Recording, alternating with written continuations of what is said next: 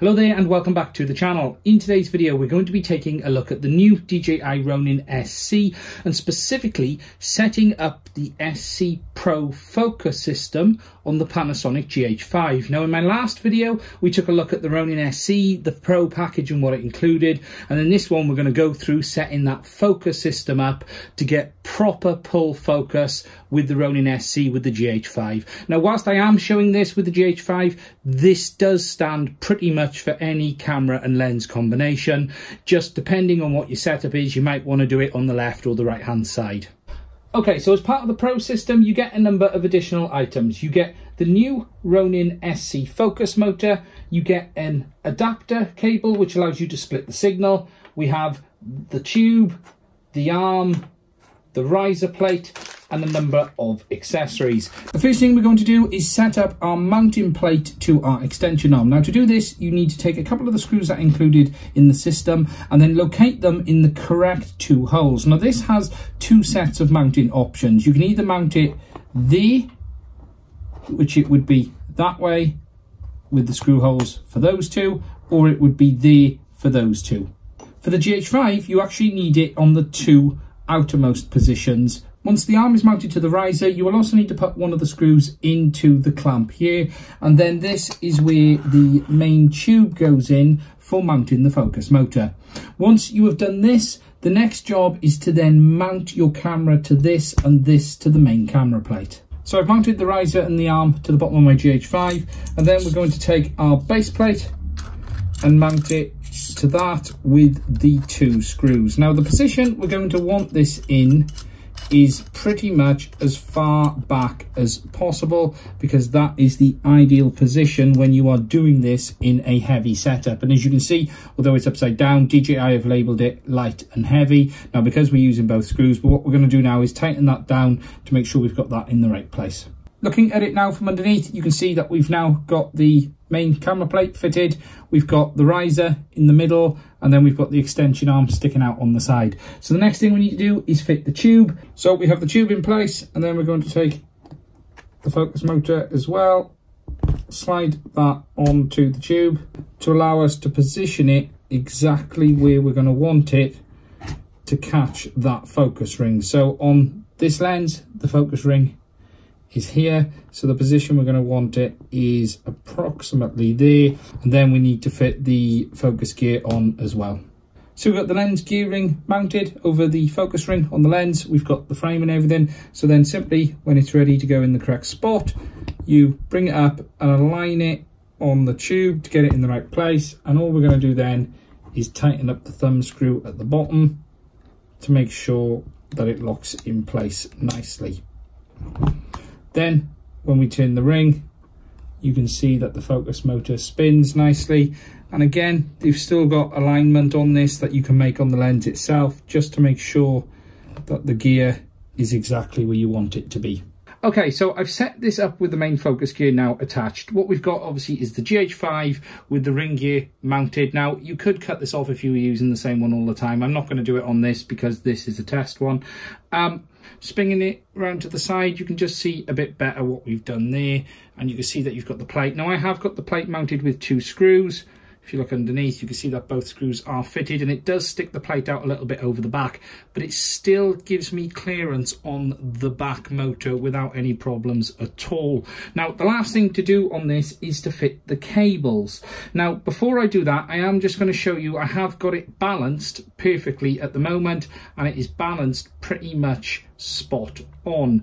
And as I've said, even with the focus gear in place, there is nothing touching. And whilst it does come very, very close, it does clear. So it does mean that even with the focus gear on, you could still use it in the underslung mode without a problem. So to connect the cables up, you need to use the supplied adapter, which is this, alongside your normal camera connection. Now the thing to always remember with the Ronin SC is the plugs that are angled go into the gimbal. So normally on the camera plug, the angled plug goes into the gimbal at the back and the straight one goes into the camera. Again, the same stands for this adapter, but what we actually have to do is put the angled plug into the gimbal. The other side of the plug, which is labeled focus motor, goes into the motor and then we plug our camera cable directly into this adapter. So what we're going to do is pop it into a position I can get to it a little bit easier.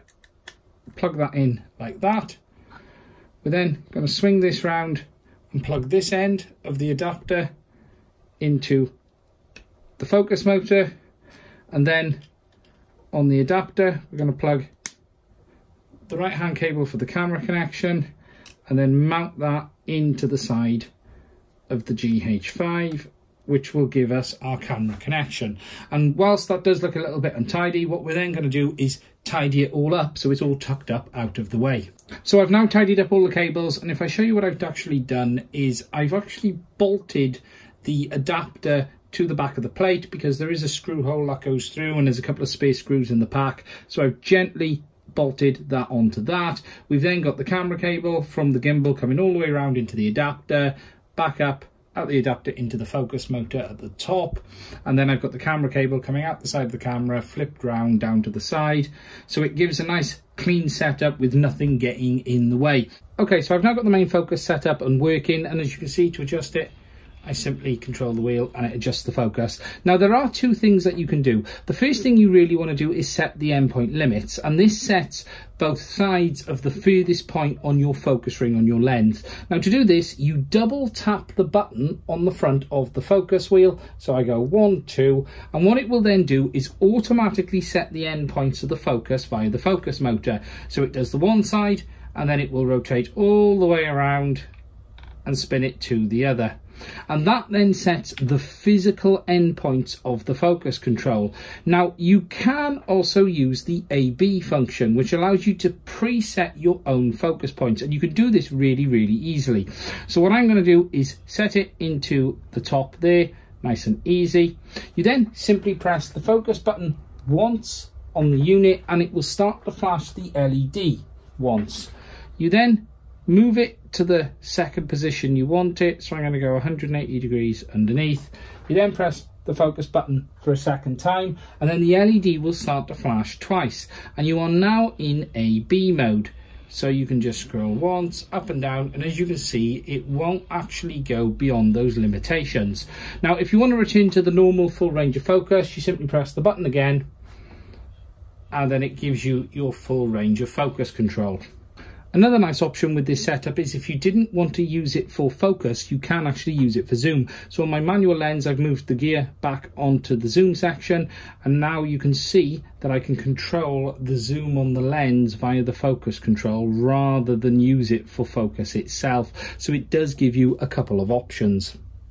Please do subscribe to the channel and check out all of the other videos we have available. They are also split into playlists to help you easily find the ones that are relevant to you. If you would like to support the channel, please check out the links that are in the description for each video. You will find the links for the products we've been talking about and it's only by you guys purchasing via these links that allows us to keep making videos and buy products to talk about in the future. Please also check us out and follow us on all of the social media platforms such as Twitter, Instagram, and Facebook. We're beginning to build these accounts up, and whilst it is early days, I would appreciate it if you would like, share, and follow us on these platforms. Finally, please also check out my website, www.madrc.com. Now, this is somewhere that we've been putting some of our blog posts and things like that over the last couple of years. So if you're interested in having a look, please do go check it out. That is it. Please do click that subscribe button. Thank you very much, and I will do another video again soon.